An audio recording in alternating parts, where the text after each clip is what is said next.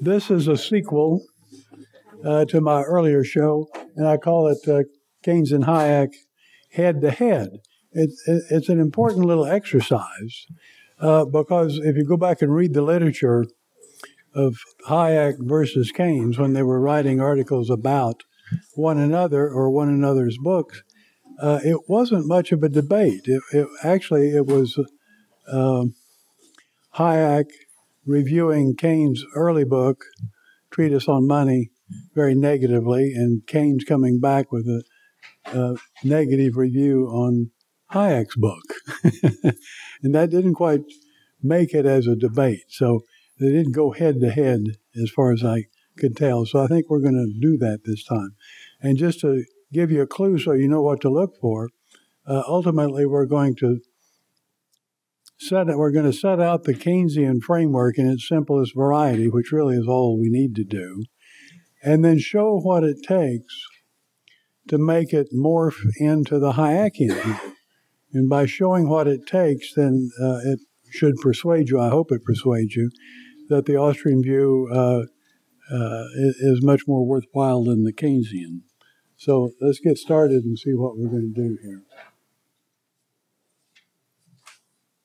There's Keynes and Hayek. Uh, Hayek was uh, junior to Keynes by about 16 years, and so uh, he was he was a little bit hesitant. Of course, Keynes had tremendous tremendous popularity uh, at the time, and uh, Hayek was the challenger from LSE. Uh, Keynes was in Cambridge, and they battled back and forth. And so, like I said, I want to put them head to head, and turns out it's not too difficult to do. Okay, there they are. Little known photo that we dug up there. Uh, Hayek eventually despaired over the debate. He just quit it, as did Keynes. And um, Hayek and Keynes both thought it was probably more worthwhile for them to each work on their own theory than to take pot shots at the other's theory. Uh, so, which is one reason we never got quite the head-to-head meeting. Now, just a, a, a brief bit of text here. Uh, what you're going to see is the circular flow framework. Okay, the Keynesian theory suggests one, and you've all seen the circular flow uh, in the textbooks, in which earning and spending are brought into balance by changes in the level of employment and therefore the level of income. Uh, and we'll see that the, what's called the circular flow pretty quickly uh, morphs into uh, Keynesian cross. So we have some vertical and horizontal axes that represents the halves of the circular flow. Hayek's vision of the economy suggests a means ends framework, and that's, of course, pure Mengerian, uh, in which means of production are transformed over time, and the over time is, of course, critical. That's the stages of production into consumable output. So, one key difference uh, with between the Austrians and Keynes, or the Austrians and most of the any any of the mainstream theories, is that time, namely production time, is an endogenous variable in the system. It goes in at the beginning uh, and stays in to the end. Uh, the uh, dealing with, with time of some of the other models ends up you make the model first and then you figure out what the lag structure is by empirical determination. So, uh, with the Austrians, time isn't a, an add on at the end as a lag structure. It's simply the fact that it takes time to produce things in a capitalist economy, and the more capitalistic it is, the more time it takes. So, a brief review of Keynesian circular flow framework, and here I apologize to any of you who've suffered through a, a principles course and seen the circular flow, but you'll, you'll get to see a little bit different version of it this time. So, we'll, we'll see how it works. The circular flow. Uh, we have business organizations up above, and that's really just a shell. It's it's it's a facility that allows employers and employees to meet and allows things to happen. Uh, down below, we have all the people. We got the workers, we got the consumers, we got the investors, uh, that will meet up there at the uh, business organizations. And we'll start the circular flow here. There's part of it. Uh, and that's labor and other services. And being Keynesian about it, uh, that morphs pretty quickly into just labor. Uh, Keynesian economics is labor based economics, almost to the exclusion of capital, except when capital is getting in the way. Uh, and of course, they get paid for it. I do that right? They get paid for it. And that's called income. All right? And, well, that's half the story. If you look at the other half, uh,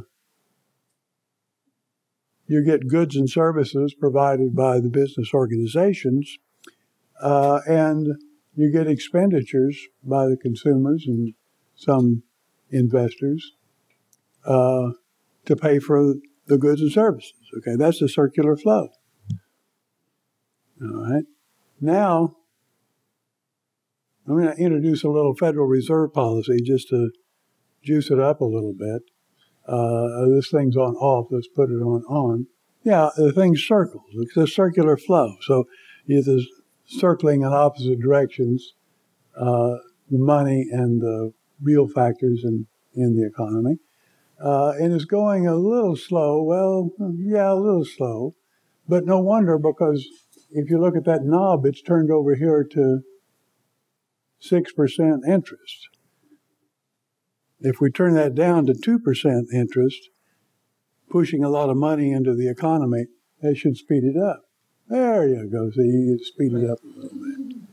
And uh, if that causes inflation, well, slow it down. All right. So that's that's the Keynesian stick. Okay. That was Keynes. Now here's Hayek, and of course, his model is not a circular flow. It's a Mengerian stages of production. And the shape of that uh, triangle changes, as we saw during the last lecture. Uh, goods move through the different stages of production. The thing can change in shape as interest rates fall and so on. So that's quite a difference between the Keynesian view of how the economy works and Hayek. So we've got a job to do to somehow morph from the circular flow to uh, the triangle. We'll see how to we'll see how to do it though. In Keynesian equilibrium, of course, income equals expenditures. It just means the flow on the right half equals the flow on the left half. Okay, two flows have to be equal. I, otherwise, something's piling up. Something's happened happening uh, in the business organization. So income equal expenditures, Y equals E. And uh, this is for a wholly private economy. I'm going to leave off government expenditure, expenditures here because I really don't need it for this particular demonstration. And I've learned uh, when I taught uh, Auburn classes that it helped to write out wholly in wholly private economy because the Southern students thought I meant H O L Y, the holy economy. So C equals C plus I. That's the consumption plus investment. And notice here, C plus I, well, that's just two things added together to give you total spending. There's no suggestion here of a trade off between the two. Okay? Now, let's convert that uh, circular flow into uh, a set of axes there. You've got expenditures on the vertical axis, income on the horizontal axis. Uh, and equilibrium, by definition, is that 45 degree line because you want expenditures to equal income. You want what's flowing on the right to be what's flowing on the left to keep things from building up or tearing, being torn down at the business level. Okay, so that's the 45 degree line. Uh, bedrock for Keynesian theory is a stable, relatively stable, and for analytical purpose, perfectly stable consumption equation that has a vertical intercept that means if you keep spending some, even though you're earning nothing, which shows you it's a short run theory, you can't do that for long. Uh, and it has a slope of something less than one, which that's the marginal propensity to, consume. It means when you earn an extra 10 bucks, you spend some too, but not the whole 10 bucks. Maybe you spend eight and save two. Okay. So that's a hardcore Keynesian theory. The equation C equals A plus BY, A is the vertical intercept uh, over there on the left, and Y or B, of course, is the slope of that consumption equation. And that's, see, that's, that equation is not going to change. It is what it is. We'll show one instance where it does change, but generally it, it doesn't change. Now, you add on to that investment. Investment is just a given amount based uh, on psychological factors. Uh, Keynes called them animal spirits. Used that term three times in a page and a half, so I guess he meant it. Uh, and so the two lines are parallel just because investment is what it is and it's just piled up on top of in uh, of consumption. It's the way it works. Okay, so consumption and investment, as well as government spending, but we're leaving that out, are portrayed as additive components of total spending. The three components are distinguished largely in terms of their stability characteristic, not in terms of any temporal issue, uh, where C is stable, I is unstable, and G is stabilizing. That's, that's the Keynesian mindset. Okay. Uh, and here you can see plainly that income, which is measured horizontally, equals consumption plus investment. Uh, and so the economy is in equilibrium. We're going to let that be full employment equilibrium if only by happen so. Equilibrium doesn't mean full employment. It just means income equal expenditures. But if you're lucky, and you probably won't be, uh, that still that, that could be full employment income. And we'll see about that. Okay. So a wholly private economy achieves income expenditure equilibrium when y equals c plus i. Note that it's income itself. In other words, instead of having prices and interest rates and wages adjusting to bring it into equilibrium, it's the level of income on that horizontal axis that changes to get you in to get you equilibrium. So the economy can spiral up to an equilibrium or spiral down to an equilibrium, and there it sets in equilibrium, even if that's not full employment. Keynes called it an unemployment equilibrium. Equilibrium because y equals c plus i. Unemployment because, well, that's where income had to spiral to to get that equality. Okay?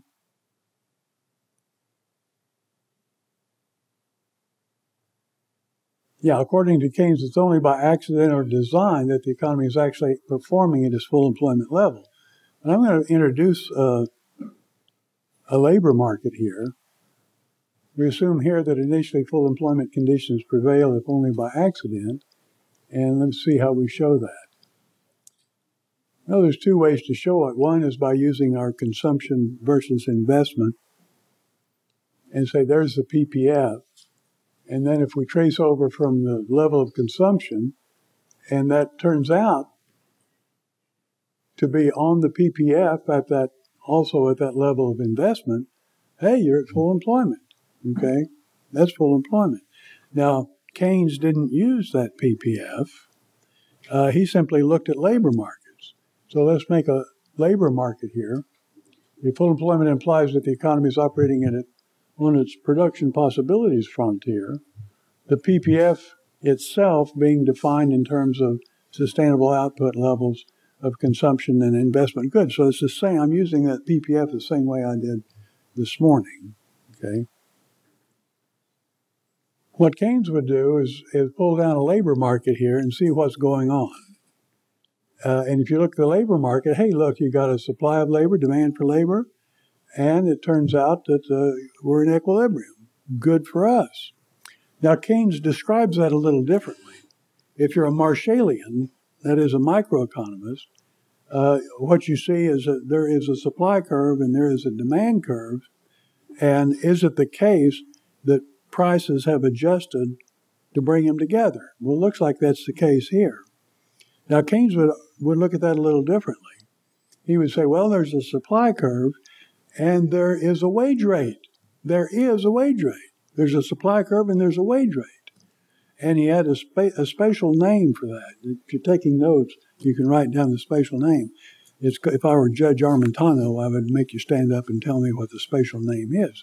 But the spatial name is it's the going wage. The going wage. Okay. And so the question is, if you look at the supply curve and the going wage, then you want to see, well, does demand intersect at just the point that makes that full employment? And if it doesn't, you're out of equilibrium and something needs to be done about demand. That's the way Keynesian thinking. So, so it's supply and the wage rate that are given, and uh, demand is up for grabs and can be manipulated by policy. Okay. Full employment implies that the labor market clears at the going wage rate, the going wage itself having emerged during a period in which the economy was experiencing no macro problems. So Keynes just sort of brings that in the back door without anybody noticing it. What is this going wage? Oh, that's what that, that, that's the market that worked for you and for me sometime back in the past when some for some reason, if only by accident, things were working right and you had full employment. But now, if things if, if demand has changed and the, and the wage rate hasn't changed, then we need to fix demand. Uh, labor income is represented by Y equal W times N. W is the wage rate, of course. N means number of worker hours. That's the best I can do. I don't know why economists use uh, N. They could they could use L for labor, but L usually means land in classical theory. So uh, WN, and of course that's just that uh, little rectangular patch down there. That's income of labor. But Keynes says, well, okay, that's income of labor, but it's a proxy for all income as long as the ratio, the relationship between labor and land and capital don't change. And how could they? Why should they? If they don't change, then uh, we can just measure income by labor income, multiply it by some factor if you know what that factor is, but don't otherwise bother me about it. All right. Now let's get going here. I'm going to bring back my circular flow. According to Keynes, a collapse in investment activity, the collapse being attributed to the waning of animal spirits, is the primary cause of economic downturns. He doesn't announce that till one of the late chapters uh, in the general theory. I think it's either the last chapter or the next to the last chapter. That's the primary cause. It's not monetary. It's, it's a waning of animal spirits. Uh, in response to reduced investment and hence reduced employment opportunities, the economy spirals downward into recession and possibly into deep depression. And here, of course, he's ignoring the interest rate effect. He hadn't got any interest rate up here yet, anyhow. So he's ignoring that effect, and it's a derived demand effect all the way down. Now, I'm sorry, I don't have an axis for animal spirits. So.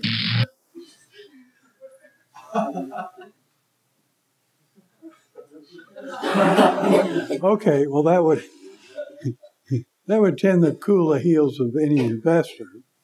And so what happens is that C plus I falls. Isn't that right? Let's let it fall there it falls. Okay?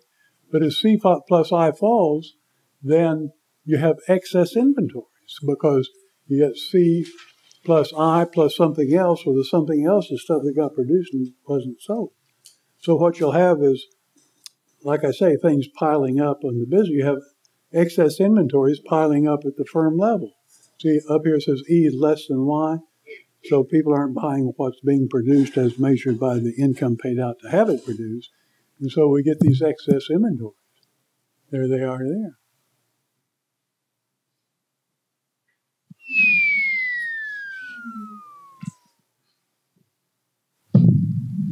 Okay, now what happens then? Well, the economy spirals down.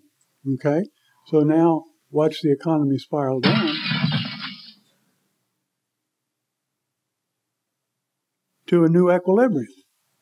Uh,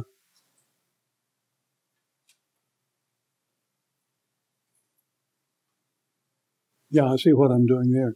if you look upstairs, I want, to go back. Oh, I'm sorry. I'm going the wrong way right now. I'm going to go back to here. Uh, see, here's here's where we can show this Keynesian relationship.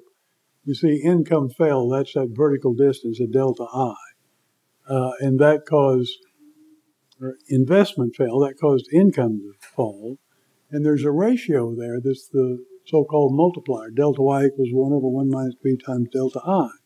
That's the Keynesian multiplier. So if investment falls by 100, uh, maybe income falls by 500. Uh, and but we also notice that consumption falls. Okay, so this is the business of everything falls. It's not that investment falls relative to consumption. Investment and consumption both fall. They fall at different rates, but they both fall. All right. So the simple investment multiplier is 1 over 1 minus b. You might have seen that in, uh, in your textbooks. That quantifies the relative rates of downward or upward, upward spiraling. Now look at the labor market. What's happened is the demand for labor has fallen because people aren't investing as much, they're not hiring people. Uh, but look, the wage rate hasn't changed. Why hasn't it changed? Because it's the going wage rate wage rate's the going wage rate. And so demand is wrong. That's the way Keynes would put it. So note that the going wage keeps going even after the market conditions that gave rise to it are gone. Now, you never see that in the general theory, or you don't see it in the textbooks. But when you state it that way, you say, well, something's funny about this theory. It doesn't deserve to be called a general theory. How general is it? Know, it's nuts.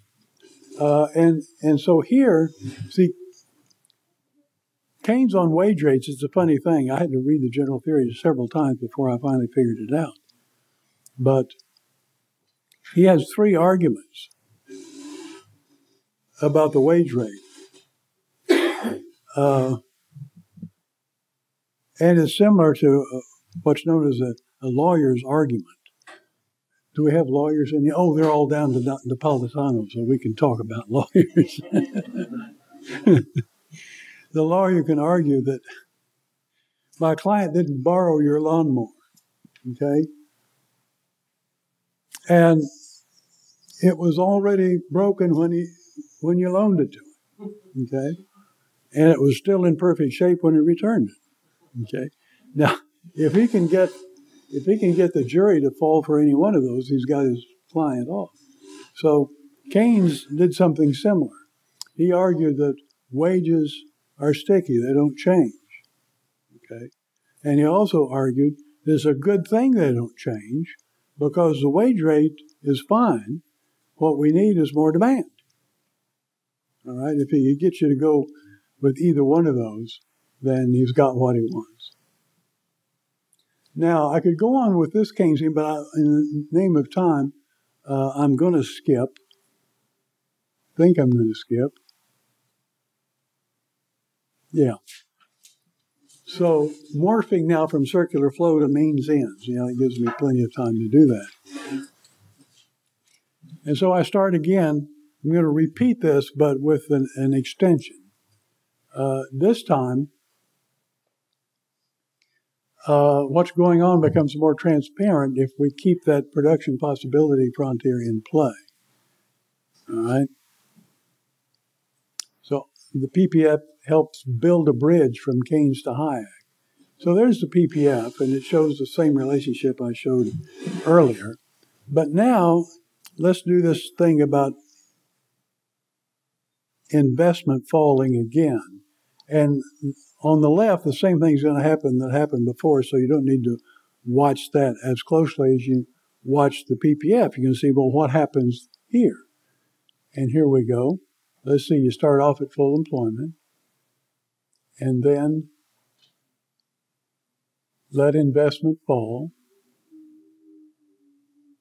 Waning of animal spirits causes investment to fall. There it falls. Okay, now we're going to equilibrium. And what you see is the economy moves inside the PPF. You have unemployment, you're in a depression. Okay, they both fell. right? And again, you could look at that in terms of the labor market. All right. Now, suppose investment falls some more, further waning, down further. And it goes down again. Okay? Now, what we'll notice, yeah, so demand is way down now, and you'd think the wages would be falling, wouldn't they? Wouldn't they fall? But no, doesn't even want them to fall. He wants to, in fact, he, he wants policies to keep the wage rate from falling. Uh, and, and, that's that's another part of the lawyer's argument. In other words, he's just saying wage rates are sticky; they don't fall. And then he says we need policy to keep them from falling. so they would fall if you let them, but he doesn't. Want, and the reason he doesn't want them to fall because he thinks the problem is demand. We need more demand. All right. Now let's see what we're going to do. Yeah, if you look over here, I'm putting those points in from the PPF down to where it failed, and I'm even uh, putting one outside the PPF, which would would uh, be inflation in Keynes' view. Okay, so movements inside the frontier and beyond are traced out by that linear relationship showing how consumption varies with investment. The straight line that passes through these points is called the Keynesian demand constraint. Now, it's, I think it's worth your knowing that the, the reason it's called the Keynesian demand constraint is because I named it the Keynesian demand constraint because you don't see it anywhere else. Okay? It's not in the textbooks. Uh, that's the Keynesian demand constraint. If, if, you don't have enough demand, whatever the demand is, you're moving along that uh, diagram or that upward sloping curve. And note here, this is just a matter of geometry in case you're worried about does all this stuff fit together. Note that if investment were to fall to zero, the economy would settle into an income equilibrium, income expenditure equilibrium with Y equals C. And so, uh, thus, that vertical intercept of the demand constraint uh, corresponds to zero investment. Right? Uh, and if you do if you do the algebra correctly, uh, you'll get the equation of that demand constraint. Uh, I may walk through it just very briefly. That's the equilibrium condition. If you've been, how many have been in an intro macro course where you had to solve for the equilibrium level of income? You've done that to solve for the equilibrium level of income. And by God, you better get it right. Okay. Well, take those, take these same equations in other words, take c equals a plus by and y equals c plus i and solve for the relationship between consumption and investment. So all we have to do is eliminate uh, the y from the equation. And you know enough algebra to do that, and I'm not going to wade you through it, but it looks like that. And so you get c equals a over 1 minus b plus b over 1 minus b times i. And let me write it up here too. There's the intercept is a over 1 minus b, the slope is b over 1 minus b, and c equals a over 1 minus b plus b over 1 minus b times i. That's the Keynesian demand constraint. That's the equation for it. Simple equation, but you show me where else it's written. Uh, uh, and when I published uh, Time and Money, I thought I would be the first economist actually to put that in a macro book. Okay. Now I got disappointed. Uh, and it wasn't because somebody else put it in their book first. It's because when Routledge sent me my complimentary copy of, of the book, I flipped 100 page 136 to see my equation, and it wasn't there. There was just a blank space. It says, and so the demand constraint is a big blank space. It wasn't there. So I, I blew it. Okay? now, if you go to the Auburn Library and, and check out my book there, the equation is there because I went over there and put it there. Okay, but I had to wait till the second printing to get to get it in the book. Okay. For simplicity, and you'll see what, what's going on here. Uh, for simplicity, let a equals zero. Well, no, A doesn't equal zero, but let's let it equal zero, and let B equal 0.9. Then C equals A plus BY becomes C equal 0.91, all right? A result to which Keynes attributed great importance. And I picked those particular parameters, the 0 and 0.9, because Keynes used them to illustrate a point, and it's worth looking at his point. Uh, let, me, let me read it and see if we can catch on here.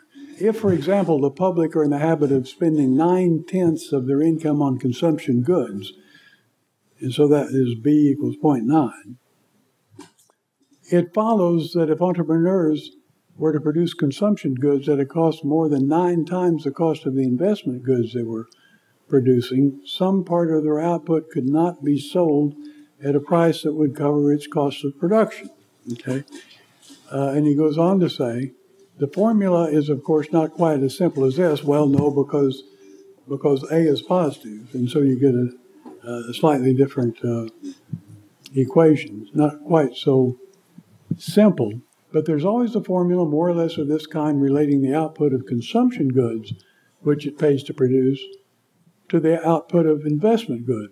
This conclusion appears to me quite beyond dispute, yet the consequences which follow from it are at the same time unfamiliar and of the greatest possible importance. And of course, it is beyond dispute because it, it relies it relies on wage rates not changing. It relies on derived demand being the only thing in play uh, when uh, savings increases and so on. But that's what Keynes said.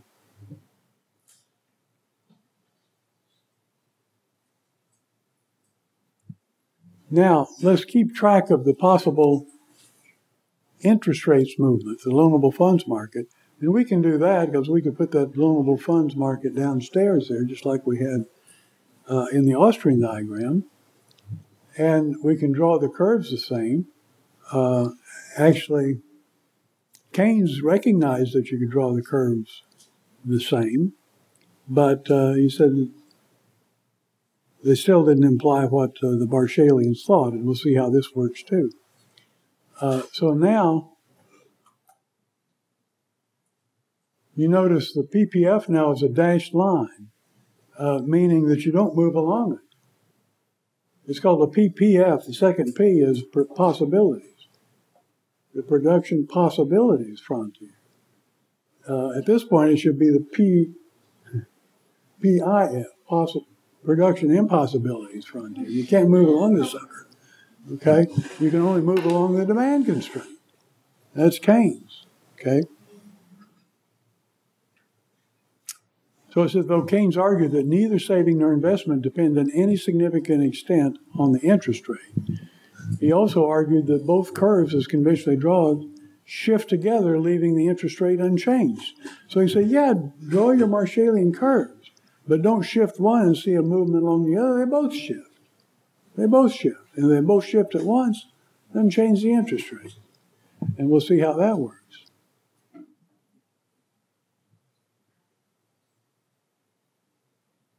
Now, with the loanable funds market in play, we see a decrease.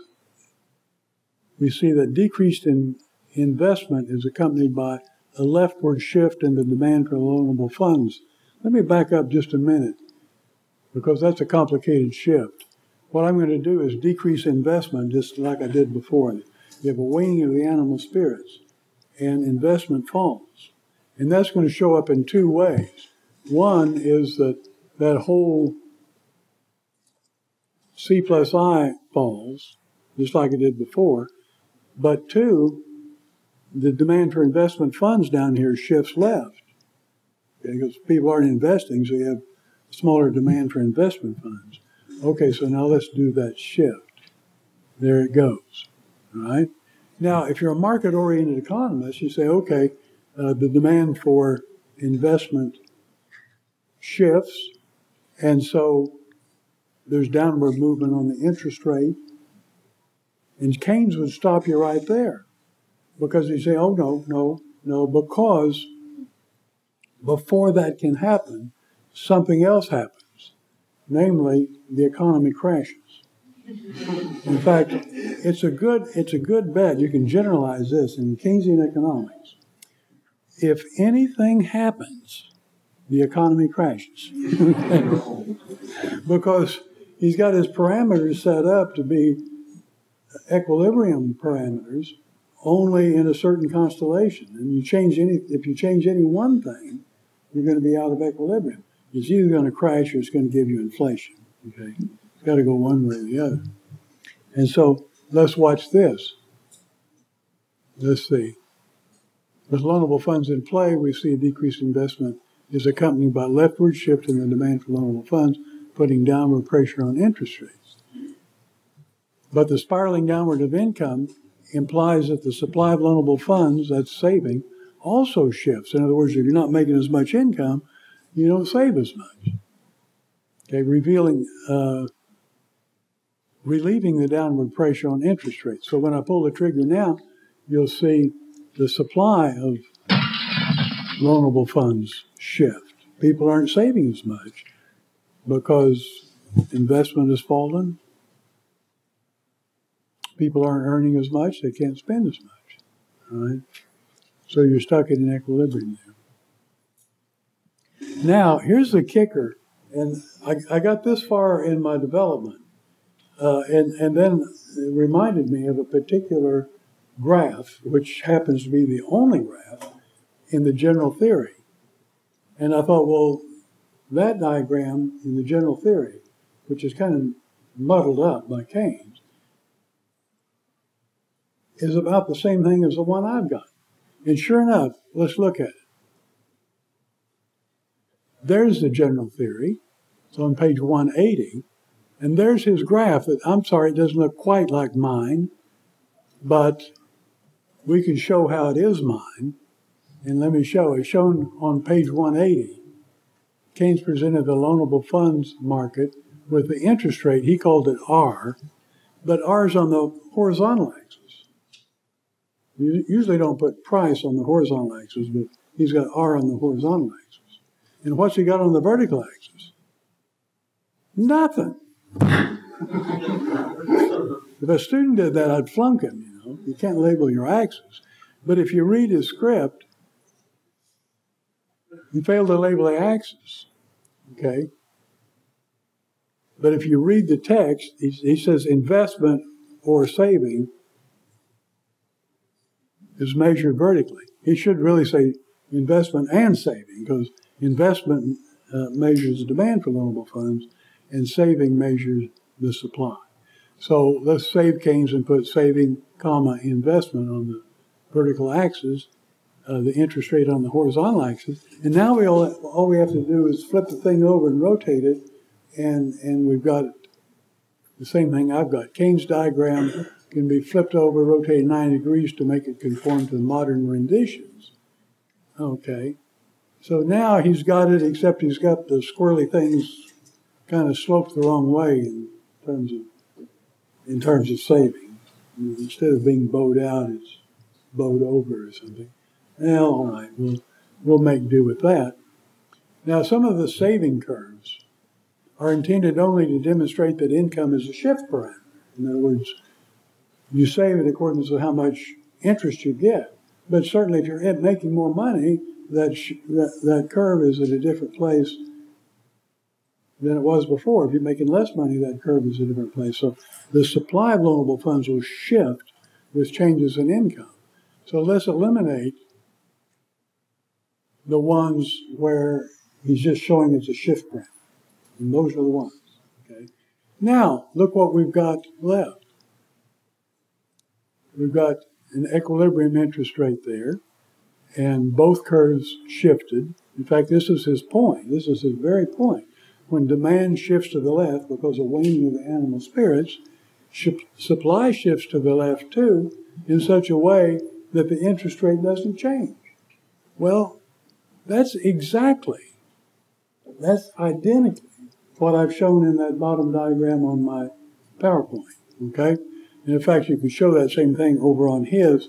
You just have to stare at it and study it a little bit more to see, uh, yeah. I haven't changed anything in the process. I've simply flipped it around and eliminated the irrelevant parts of the curve. So,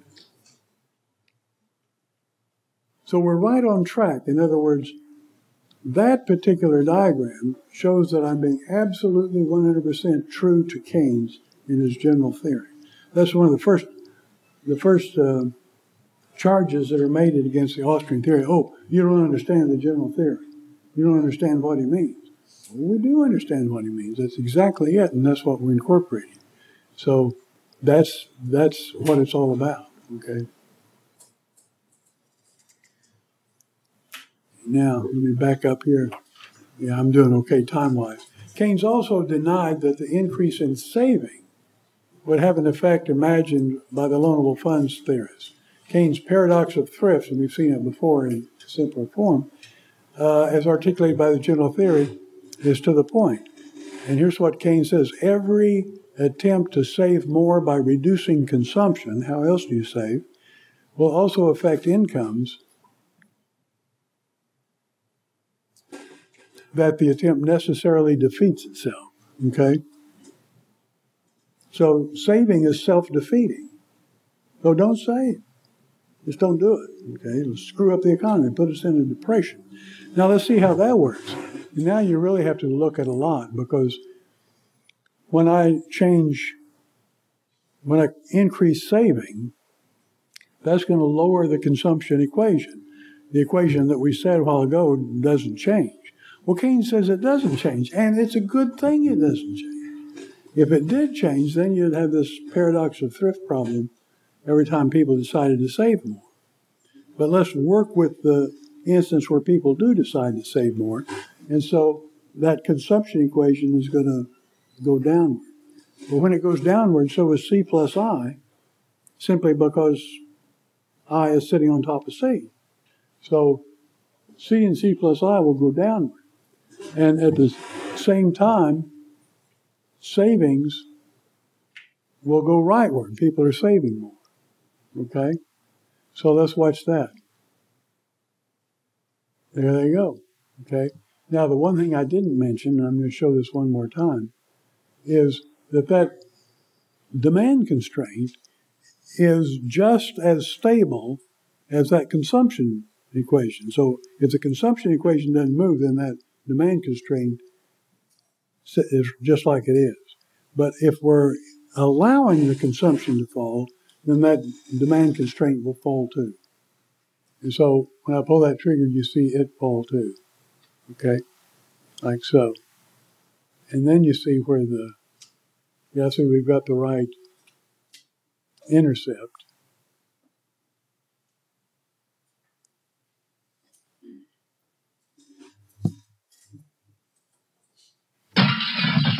Okay, there's the economy crashing. And now we see the economy is inside the frontier. Keynes was right if his model was right. Uh, so we've got a, a depression, and we've got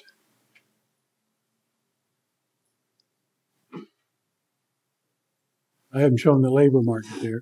Hence the paradox of thrift. Try to save more and you'll instead learn less. And then there's the labor complement. In other words, now the demand for investment funds has fallen, and so we've got unemployment. All right. So this this was Keynes' tirade against saving. Just don't do it.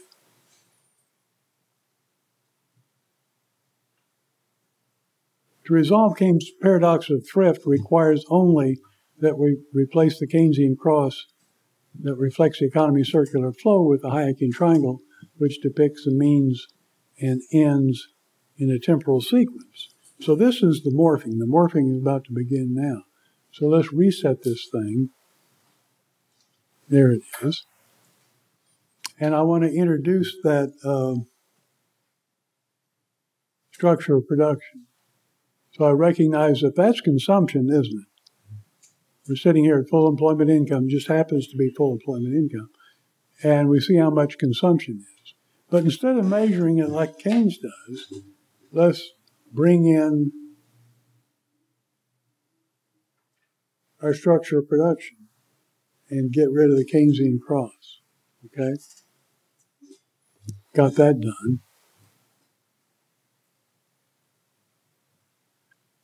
Keynes, however, assumed a fixed structure of industry. And this is, this is in his uh, chapter two, uh, which has a very innocuous title uh, it's called The Choice of Units. That's chapter 2, The Choice of Units. Uh, and in it, he makes some simplifying assumptions. And, and he says we, we assume a fixed structure of industry, which means essentially the triangle doesn't change. It's a fixed structure of production.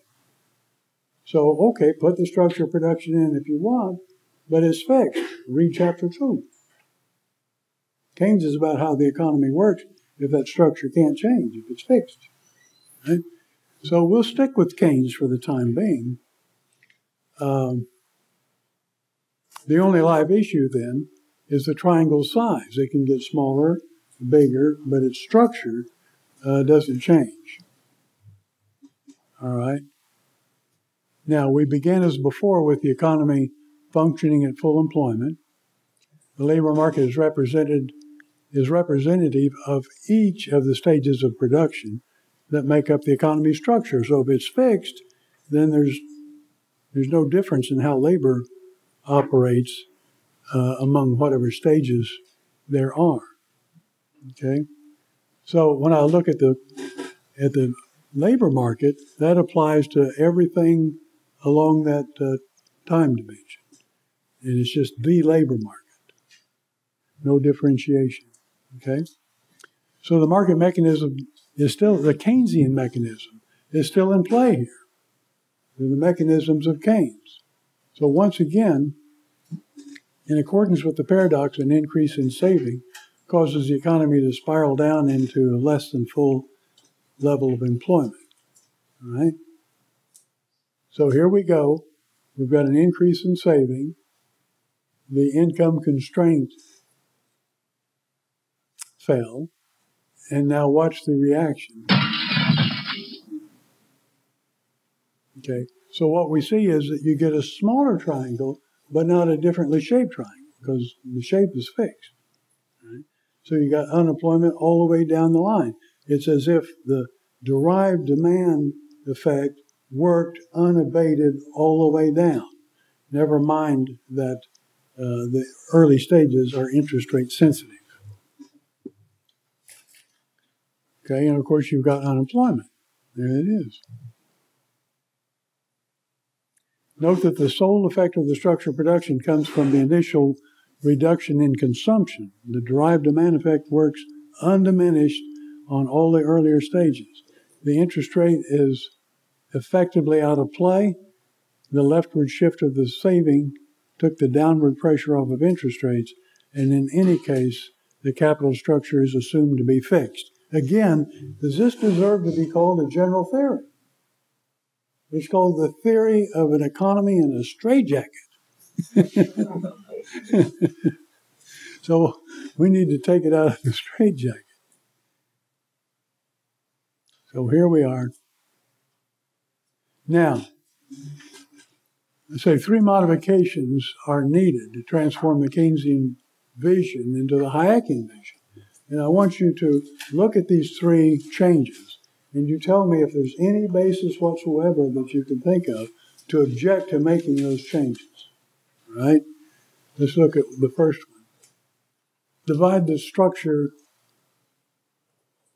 of production into stages. Is everybody for it? It's easy to do. There's early stage and so on. That's easy to do. What else? Allow the stage specific labor markets in which wage rates adjust to changes in market conditions. Okay. Here we just got one labor market. So let's re outfit the labor market. Okay, and still I just do two stages, don't have enough room to do five. So now we've got some variation here. And, and if, you, if you think about this, now this structure of production can change now, and those labor markets work differentially, and that's what moves you along the frontier. That's what moves you along the frontier. And so that uh, demand constraint is no longer in play. And the only question is, how do we get rid of that? What?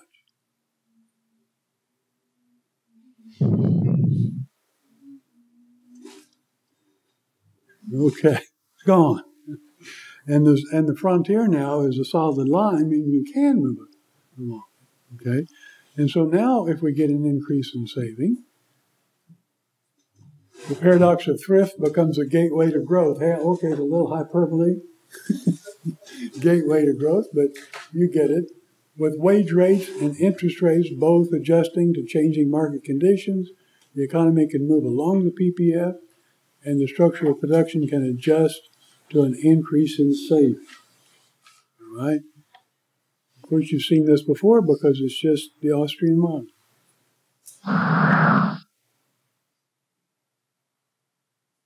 Okay, new equilibrium, adjust to saving, no unemployment, and the economy stays on track. Uh, in one of the early articles, Hayek made this summary point uh, in a little different context, but it certainly applies here. Mr. Keynes' aggregates conceal the most fundamental mechanisms of change. It's when we disaggregate stages and we disaggregate labor markets and we allow wages to change and we allow interest rate to change uh, in, in, in response to a change in saving. You allow that and the economy will work. Okay? So we've done our morphing.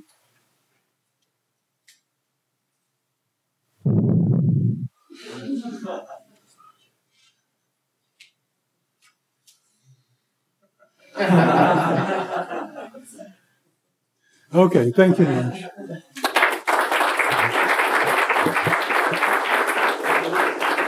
Okay. Actually, we have time. I'm surprised we have time for a few questions. Uh, if anybody has. Yeah. I always wondered, um, while, while doing econ 101, I always wondered how it became the predominant view. Uh, how, how is it feasible that things when you became, you know, uh, That's an interesting question. The question, in case somebody didn't hear it, how did how did Keynesianism become the predominant view? Uh, and part of it was was because of the mesmerizing influence of John Maynard Keynes. I mean, he was a hero uh, going back to the Treaty of Versailles, uh, and a well known figure and statesman and so on. Uh, and so uh, people were inclined to get along with Keynes. And uh, one, one of the things that's sort of ironic is that occasionally you hear the Austrian economists referred to as a cult. Well, if there was ever a cult, it was Keynes and his little band. Because not only did he lambaste Hayek, but he had all of his people writing nasty reviews. See, uh, Piero Sraffa, the worst one, uh, reviews of, of Hayek's work.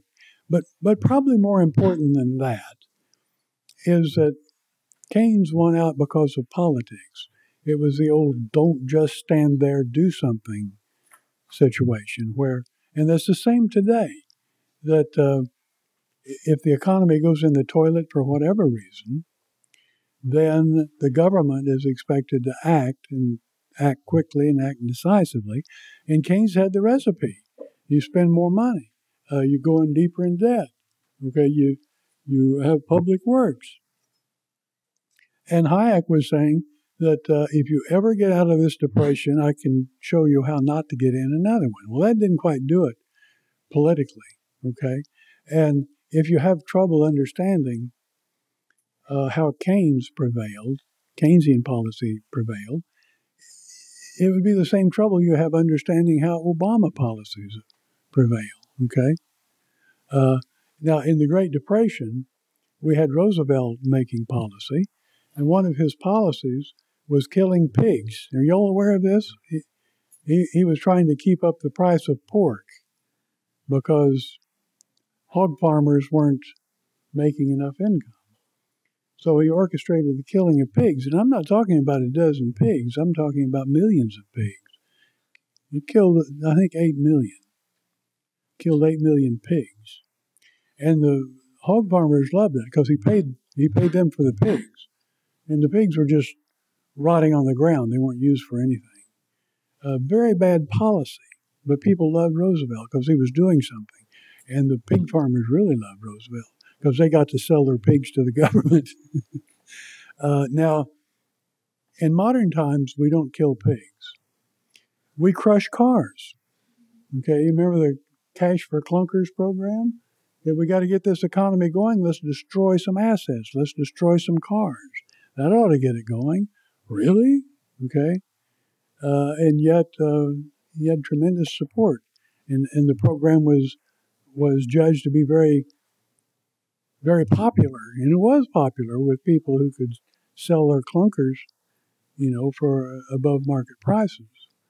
Uh, and some people were just in the spirit. They, they thought this was great, uh, the crushing of cars. There was one newspaper report of an individual that came in with a, about a 12 year old Mercedes.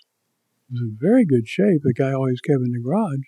And he wanted a new car, and this was his clunker. And they said, "Well, this, that's not a clunker, boy. You know, we'll we'll take that. We'll we'll give you we'll give you double the amount of money that we could give you for ca- cash for clunkers." And he said, "No, I want mine crushed." he was with the program. Okay, so people don't know much about economics. Certainly not much about macroeconomics. And they don't always go the right way. Anybody else? Okay, you've been a good audience. Thank you.